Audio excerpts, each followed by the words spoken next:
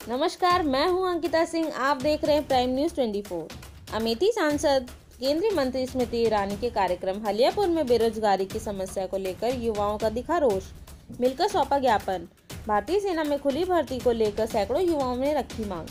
मामला बल्दी राय तहसील के हलियापुर थाना क्षेत्र से जुड़ा हुआ है, जहाँ पर बीते बृहस्पतिवार को केंद्रीय मंत्री एवं क्षेत्रीय मंत्री सांसद स्मृति ईरानी का द्वारा हलियापुर के सुंदर देवी बीटीसी शिक्षण एवं प्रशिक्षण संस्थान में सुल्तानपुर प्रशासनिक अधिकारियों के नेतृत्व में हलियापुर मंडल की 29 ग्राम सभाओं की जन समस्याओं के निस्तारण हेतु कैंप लगाकर त्वरित कार्रवाई हेतु दिशा निर्देशित किया गया।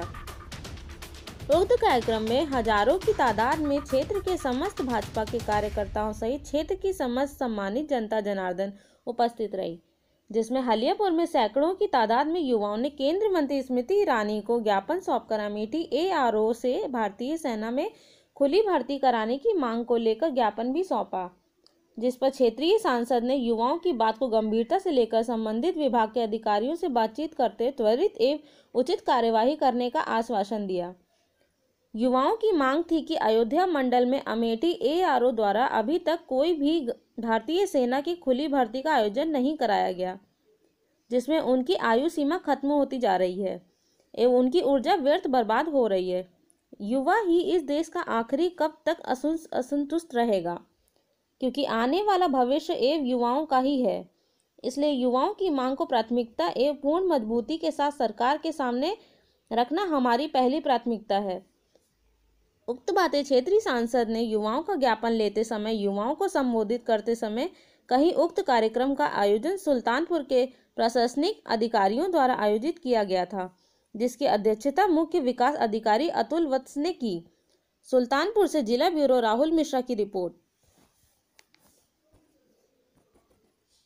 निवेदन है वो ए आर ओ अमेठी की भर्ती करवाएँ और जो भी सरकार की गाइडलाइंस होगी कोरोना के चलते गाइडलाइन को हम लोग भरपूर पूर्णतया से उसका पालन करेंगे। अनुशासनहीनता के कोई वो नहीं करेंगे। हम लोगों की भर्ती कराई जाए किसी न किसी भी प्रकार से। जो है कि जो एज मेहनत करे जो युवा मेहनत करे उनकी एक काउंट हो रही है। उनके विषय के बारे में सोचे उनकी जो भी देश की सेवा करने का जुनून है उनको जो है कि अवसर दिया जाए। इसी महीने जल्द से जल्द क्योंकि युवा किसी की एज इसी में हो जा रही है दो महीने बाद किसी खत्म हो जा रही है किसी की चार महीने खत्म हो जा रही है। माननीय डिफेंस मिनिस्टर माननीय योगी जी माननीय जितने हमारे सांसद महोदय अभी सांसद महोदय जिसे बात हुई हमारी।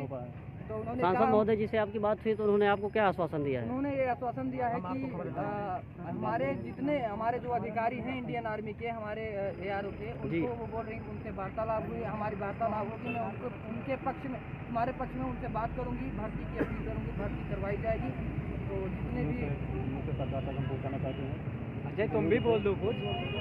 इस न्यूज़ से हम सरकार तक पहुंचाना चाहते हैं कि हमारी एआरओ की भर्ती जल्द से जल्द कराई जाए। हमारे आर बरेज हो। रहे हैं और इसी महीने नोटिफिकेशन जारी हो। नहीं अभी जैसे यहाँ पे आपकी सांसद केंद्र पूर्व केंद्रीय मंत्री केंद्रीय मंत्री स्मृति ईरानी जी का कार्यक्रम था। अभी वो आई थी उनसे आपने क्या सवाल किया केंद्रीय मंत्री स्मृति ईरानी को दीदी जी को हम हमने अपना ज्ञापन सौंपा उस पर लिख दिए हैं कि जो जो समस्या है और वो बोली कि हम निस्तारण इसका करेंगे।